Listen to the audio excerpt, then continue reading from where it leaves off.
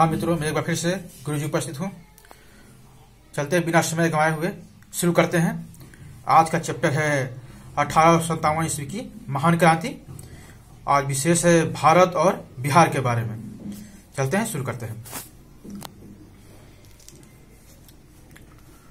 अठारह सत्तावन ईस्वी का तत्कालिक कारण क्या था? जी हाँ अठारह ईस्वी का तत्कालिक कारण क्या था? जी हाँ मित्रों।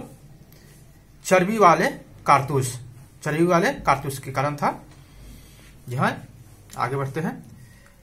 दूसरा नंबर है, सबसे पहले चर्बी वाले कारतूस का प्रयोग करने से किसने मना किया था? जी हाँ मित्रों, सबसे पहले चर्बी वाले कारतूस का प्रयोग करने से मना किसने किया था? जी हाँ मंगल पांडे जी ने। ठीक है?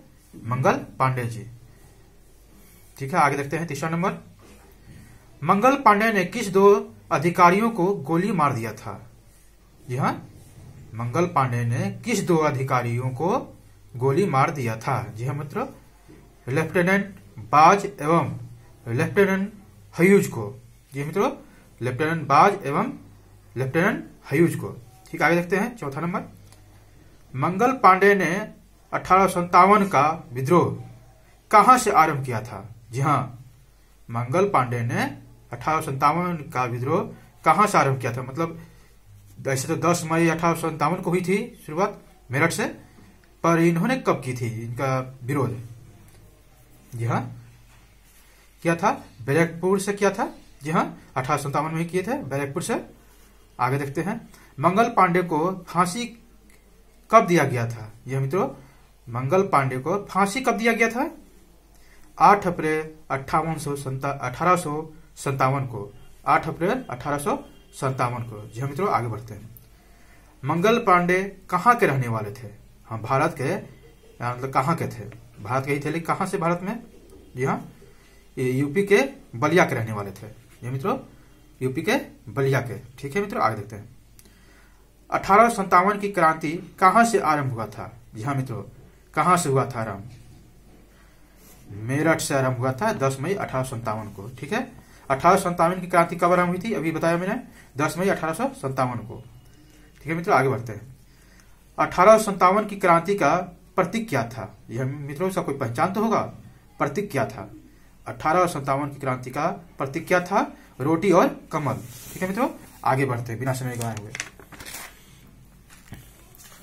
अठारह की क्रांति के समय भारत का गवर्नर जनरल कौन था? यह मित्रों, अठारह की क्रांति के समय भारत का गवर्नर जनरल कौन था? बताएँगे? लॉर्ड कैनिंग थे, ठीक है? लॉर्ड कैनिंग था। ठीक है, अठारह की क्रांति के समय भारत का गवर्नर जनरल कौन थे? देखते हैं लॉर्ड कैनिंग थे, ठीक है? आगे देखते हैं।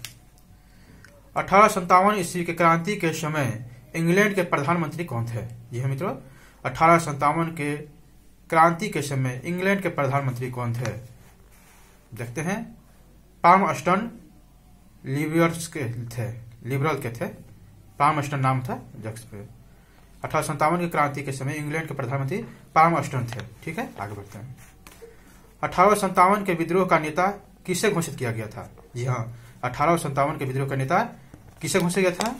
ये बहादुर शाह ज़फ़र को, यानी बहादुर शाह द्वितीय को। और इसका वास्तविक सेनापतित्व था नेतृत्व करते थे बख्त खान। जी हाँ बख्त खान। इनको सिर्फ़ नाम मात्र था। आगे देखते हैं। तांतिया टोपे का मूल नाम क्या था? जी हाँ मित्रों, तांतिया टोपे का मूल नाम क्या था? चंद्र पांडु रंग। चंद्र पांडु रंग। ठीक आगे देखते हैं। अठारह संतावन की क्रांति के कारण सेना में की संख्या घटा दी गई थी? जी हाँ मित्रों, अठारह की क्रांति के समय, कारण, अठारह की क्रांति के कारण सेना में किन की संख्या घटा दी गई थी? जी हाँ राजपूत एवं ब्राह्मणों को, राजपूत और ब्राह्मणों की संख्या घटा दी गई थी। आगे देखते हैं, अठारह की क्रांति में किन की संख्या बढ़ा दी गई थी? यह मित्रों, अठारह की क्रांति में किन की संख्या बढ़ा दी गई थी? नेपाली तथा मराठों की। जी हाँ चलते हैं आगे बिना समय गवाए हुए विद्रोहियों द्वारा दिल्ली पर अधिकार कब हुआ था? विद्रोहियों द्वारा दिल्ली पर कब अधिकार किया था? विद्रोहियों द्वारा दिल्ली पर अधिकार कब हुआ था? देखते हैं। 12 मई अठारह सौ सत्तावन को। ठीक है मित्रों, आगे बढ़ते हैं। ये दोबारा हो गया, एक वर्ष देख रहे हैं। अठारह सत्तावन का संग्राम का प्रतीक क्या था? कमल और रोटी, यानी रोटी या कमल कहीं, चपाती, रोटी चपाती और कमल आता है, दोनों की चीज़ है। ठीक है, आगे देखते हैं। अठारह सत्तावन की क्रांति के बारे में इतिहासकारों का मत क्या क्या था? इनके बारे देख लेते हैं। देखिए, यह भारत का प्रथम स्वतंत्रता संग्राम था, कहा था बी डी सावरकर ने। यह बहुत ही इंपॉर्टेंट चीज़ है। यह, यानी अठारह क्रांति को भारत का प्रथम स्वतंत्रता संग्राम किसने कहा था? अठारह की क्रांति का भारत का प्रथम स्वतंत्रता संग्राम। किसने कहा था? बी डी सावरकर ने। यहाँ उन्होंने कहा था, यह भारत का प्रथम स्वतंत्रता संग्राम है। ठीक है? बी डी सावरकर ने। ठीक, देखते हैं आगे। अठारह की क्रांति राष्ट्रीय विद्रोह था। किसने कहा था? अठारह की क्रांति राष्ट्रीय विद्रोह था। यह क्या था? डिजराइली डिजराइली ने कहा था। ठीक है? आगे देखते हैं। अठारह की क्रांति धर्मांधों का ईसाइयों के प्रति विरुद्ध युद्ध था। जी हम तो अठारह संतावन की क्रांति धर्मांधों का ईसाइयों के विरुद्ध था। ठीक है? L E R Rees. L E R Rees. L E R Rees. क्या देखते हैं? अठारह संतावन की क्रांति विद्रोह बर्बरता और सभ्यता का युद्ध था।